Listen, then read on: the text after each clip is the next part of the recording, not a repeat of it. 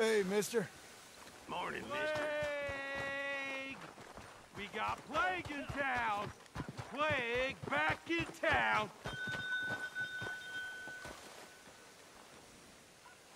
Near my feet. Good morning. Hey, Frank. Place is full of cholera. Head in there at your own peril. Well, half the town has died, and most of the rest have fled. Still? Sure. A few years ago it was the scarlet fever. Then it was the desert plague. Then typhus. Now the cholera. Bad business.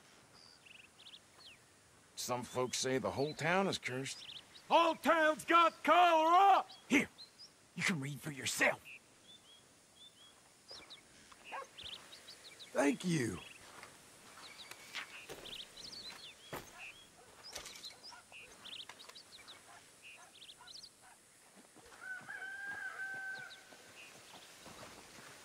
Yeah, I wouldn't stand too close. I'm